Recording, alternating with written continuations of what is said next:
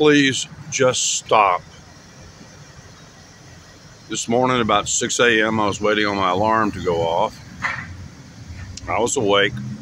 Been awake since 3:39 in the morning, and had my blanket over my head. Didn't see who it was, but I know who it was. Young black man, about six feet tall, drives a white car.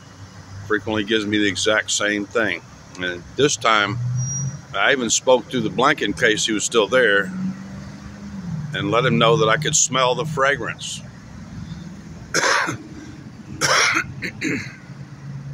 I actually had a reaction to it.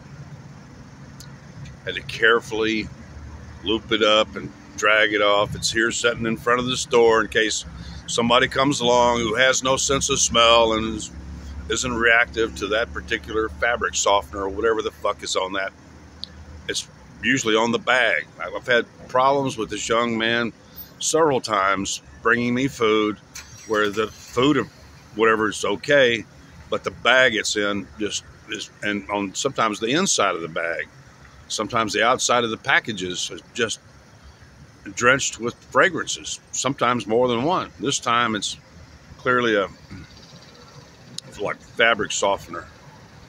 And Fortunately, there was enough wind and shit like that, and I got up and got my ass moving.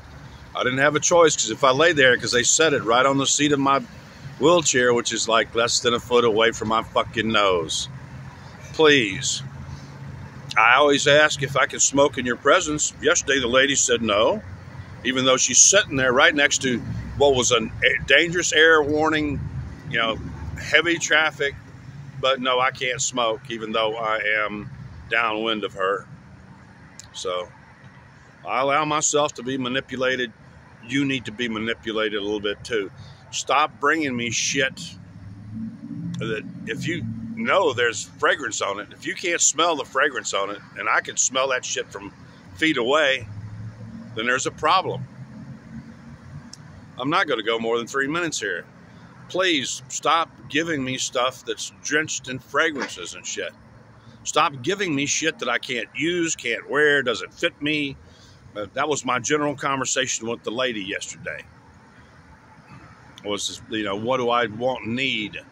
And generally, y'all really don't have what I want and need and stuff. I'm on a very, very strict diet now to keep from, you know, keep my health up because I'm looking at surgery in a few days or a week or so. And I've got to, and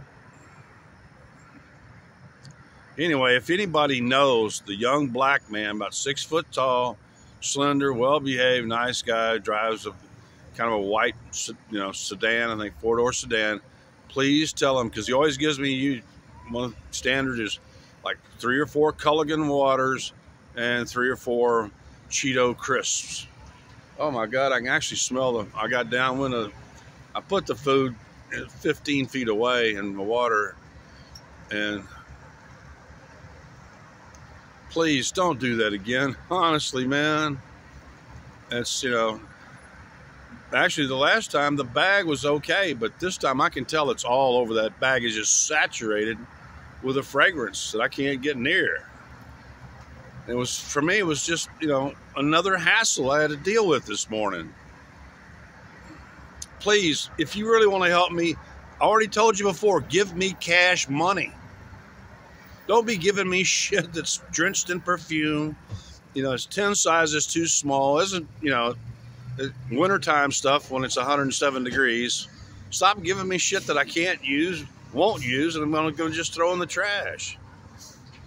You know, that's simple as that. Jeez. And please don't be setting anything that might be just saturated with fragrance that you can't smell because you're used to it. It's called nest smell. Look it up. Nest, N E S T.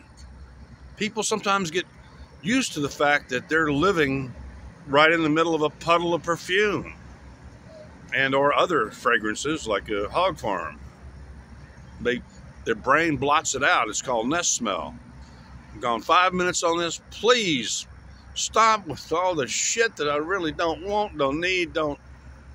And especially keep your fucking fragrances to your fucking self. Really, don't get near me. If you are covered with fragrances, don't handle anything that you're going to hand to me because it's going to usually be on your hands. It's going to transfer. And I really don't fucking, you know, I mean, really, your inconsideration is, you know, of course, I'm, I'm used to having being people just being totally inconsiderate of me my entire fucking life. So, please, just stop it. Like I said, I'll fucking eat out of the fucking dumpster. Either give me cash money, because you're not going to be able to pick out my clothes, Melissa. You hear me, Melissa? I'll, I'll send you a copy of this. You're not going to be able to find the clothes that I prefer and that I can tolerate. Because a lot of I get a lot of reactions to fabrics and shit too, like fuzzy acrylics and other stuff. It's you know, other people picking out my food and my shit, and particularly handing it to me in perfumed bags and crap like that, ain't working. Ain't gonna work. Ain't ever going to work. Period.